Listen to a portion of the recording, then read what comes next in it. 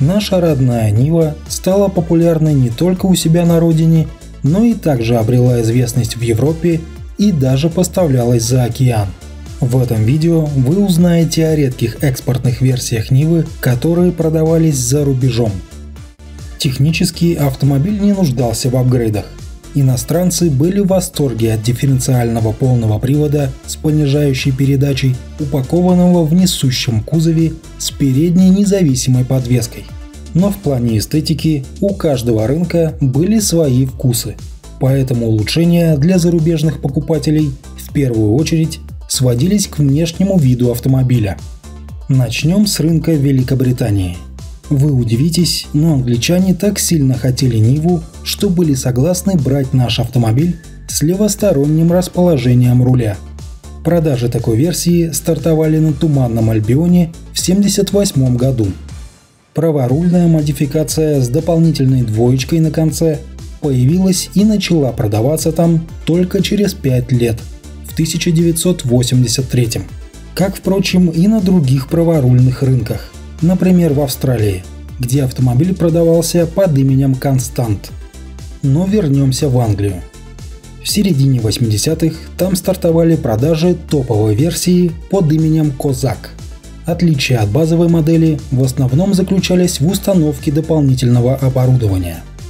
Люк в крыше, легкосплавленные диски колес, пластиковые накладки на колесные арки, кенгурин, также эта версия предлагалась в варианте кабриолет. В 1993 казачок обновился. Кенгурин стал уже, появились рейлинги на крыше и надпись на бортах вместо полосок. Обратите внимание на отделку салона и кресла, которые явно комфортнее сидушек на версиях для отечественного рынка. В 1995 казак стал предлагаться на базе новой Нивы 2121-3 Перенесемся во Францию. Но сначала хочу предупредить, что если у вас слабая психика, то дальше лучше не смотрите. Перед вами Лада Нива Сен-Тропе. Такой, по мнению французских специалистов, и должна быть Нива. Конечно, главная особенность – это необычный обвес и аэродинамичные колпаки, с которыми Нива становилась очень экономичным автомобилем. Это шутка юмора, если кто не понял – в салоне был установлен спортивный руль. Предлагалось это чудо на рынке Франции с 84 по 87 год. В 90-м под тем же названием появилась новая спецверсия с более традиционным дизайном, хотя и тут дело без накладок не обошлось. Перед вами Niva Grand Large. Еще один вариант для французской аудитории. Тюнингом занималась фирма Poch – известная подготовка Нивы для Дакара. Внешность слегка преобразили. Отдельно стоящие простецкие бамперы сменили элегантные элементы, окрашенные под цвет кузова, а вдоль порогов протянулись накладки. Установлена другая радиаторная решетка, маленький воздухозаборник на капоте и, конечно, литые колесные диски. Появилась эта версия в 1988 После обновления в начале 90-х появилась черная полоса на переднем бампере, а количество прорезей на фальш-решетке радиатора уменьшилось до двух. В салоне спортивный руль и радующая глаз обивка сидений. Брутальный вариант все из той же Франции. Там такую версию предлагали в конце 80-х. Еще один француз того же времени, отличительная особенность которого – большой люк в крыше – такой нашу Ниву видели небезызвестные итальянцы, братья Мартарелли. Это тоже вариант для Италии, видимо экспедиционный. Обратите внимание на багажник сзади. Вот о какой Ниве наверняка мечтали советские владельцы. Но досталась такая красотка немцам, и то немногим. Специальная версия для рынка Германии разошлась тиражом в количестве 150 экземпляров. Снаружи автомобиль практически не отличался от стандартной версии, зато салон был заметно облагорожен. Еще одна спецверсия для рынка Германии, отличительная особенность которой – виниловая крыша.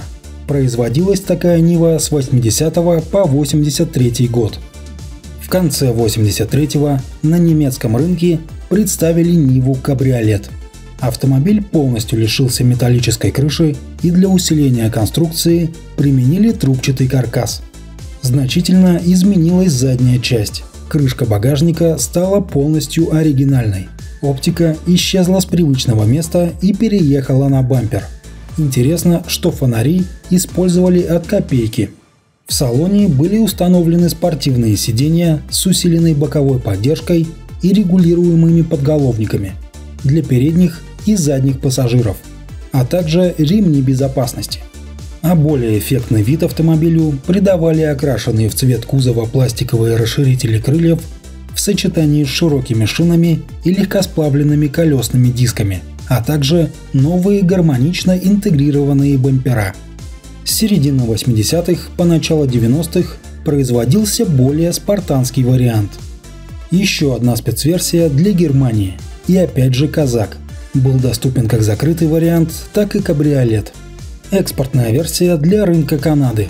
Отличительной особенностью, как, например, и у шестерки для канадского рынка, была измененная в соответствии с североамериканскими стандартами светотехника. Помимо этого, боковые указатели поворота на передних крыльях и катафоты на задних, в которых был встроен патрон с лампой, были совмещены с боковыми габаритными огнями, которые загорались при включении наружного освещения. В Канаде такие машины начали продавать в 80-м году. Существовала и спецверсия для тамошнего рынка. Ну и, конечно, кроме упомянутых версий, существовало и множество других. Например, для рынка Австрии, Финляндии. В Нидерландах тоже были свои версии Нивы. И даже в Бразилии – а эта спецверсия предлагалась в Испании. Это тоже испанка, но попроще. А такой, судя по всему, была Нива в Швеции. А это очень красивая немка середины 80-х. Спасибо за внимание, друзья.